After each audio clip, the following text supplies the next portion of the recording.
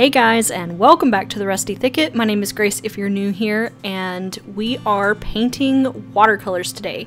I know my last video was also watercolors, but since that is the bulk of what I do on my channel and for my small business, um, I have a lot to do before this first event on the 24th, so um, I'm really putting those down and trying to get as many out as I can with the most quality as possible. So this is my second batch. Um, if you guys have been around for a little while, you know I like to work in batches since I work so small anyway. And uh, this is just going to be a cute little time lapse of me working on those and framing a few at the end to prepare for this upcoming event.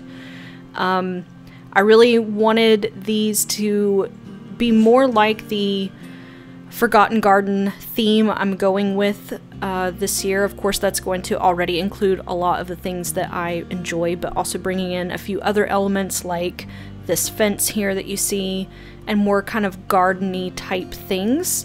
So it's still all the animals and the flowers and the things I like, but you know, a little more leaning towards the garden type stuff. Um, I have a lot of other things to show you guys next week that I have been working on in between doing all of these, I also have hopefully a video coming out about my brand new pieces of, uh, I call it furniture, but it's like my display setup for my business. Um, I made one, so I have, I hope, the opportunity to build the second one before we get too much closer to this event and kind of debuting those. And I'll walk you through how I decided to do those and the design of all of that later. Um, but yeah, other than that, I am about to start working on some resin pieces. What I like to do, uh, a lot of these smaller ones that you'll see coming up soon, if I don't frame them, typically they go under some form of resin, whether it's in like a metal bookmark or a little pill container or um, lately, what I've been liking to do is find metal trays and put them at the bottom of metal trays and then cover them in resin, and they become some kind of decor or jewelry dish or maybe even um, a coaster. And I've bought new resin that I'm really excited and a little bit nervous to use. It's uh, the kind that takes curing. Usually I do UV and it's fast, but this one is like a, a multiple hour overnight kind of curing. Um, so I hope they go well because I have spent a lot of time painting all of these things. Um, also coming up, I have a few uh, not watercolor related type things that I would like to work on. Some canvas bags.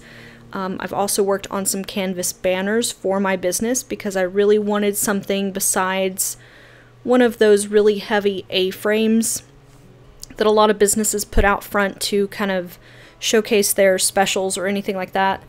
Um, I wanted something more lightweight that I could roll up, and I had some fabric paint, so it kind of made sense to go ahead and make some of those. And I've got one done, so I will also walk you all through that um, in one of my upcoming videos. I have a lot going on, so I might not get to everything before the actual event as far as sharing with you, with sharing it with you on the channel, but we will get to everything. And then um, my next one so far that I have signed up for will be in April, and it's going to sort of be an Easter thing, but also in the military, we have a month of the military child, which is in April, and they're going to do a big family event and kind of combine those two things together instead of doing both of them this year. So it should be pretty big, and the weather should be really nice because April is beautiful here. Um, February can be a little bit windy. We just had some really crazy wind um, last night and the night before. So um, another thing that I wanted to make those new pieces of display furniture for was because I want some really heavy duty windproof things so that I don't have to worry about them in my booth. Uh, but we'll walk through all that and the reasons why I've decided to make custom pieces at a later time.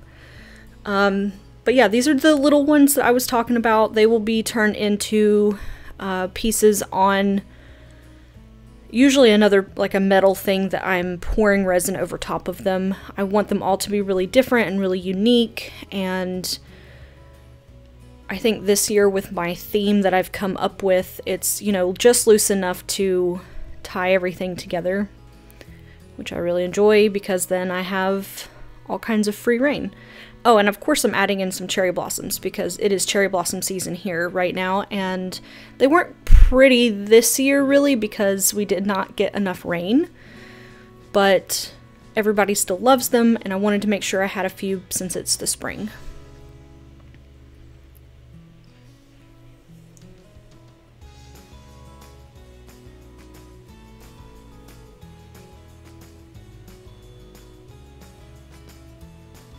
So one of my new favorite things that I've been working on lately is these uh, borders. I'm kind of obsessed with them. I'm still trying to figure out ones that I like and stuff because usually backgrounds, I don't know, I just get a little bit bored of painting backgrounds, but I don't want to leave everything white either. So um, some of my go-tos are like little rainy season type things or um, you know, splatters and stuff like that, but I just wanted to start playing with some new things, and borders are really bringing me a lot of joy right now, so I'm going to be slowly implementing more of those as we go. Now these little tiny ones I use for magnets. They go inside of a bottle cap. This little caterpillar guy is so precious and I should probably make more of him because I think th those will sell really well. I love working tiny because I get to hop around and move around a bunch. Those large watercolor paintings are so beautiful, but I just don't have the patience to sit and wait for everything to dry, and these dry so quickly, and I just enjoy drawing small in general, so they're a lot of fun for me. And I also feel like I don't have nearly as much artist block when I work little, so if you ever have an issue with that, I really suggest giving that a try. But that's kind of all I wanted to update you guys on. I will definitely see you all next week with uh, some more stuff of me getting ready. We have a four-day weekend because it's um, President's Day. So we'll be getting to a lot of stuff this weekend and hopefully filming quite a bit and maybe even getting out into Japan some more because I've been busy and haven't been able to do that. But um, if you guys would please, I would really appreciate it if you would like and comment down below. And don't forget to subscribe to the channel. Maybe let me know what your favorite piece is that I worked on today. That would be awesome. And I will see you guys next week. Oh, and enjoy the rest of the video because it's not over yet.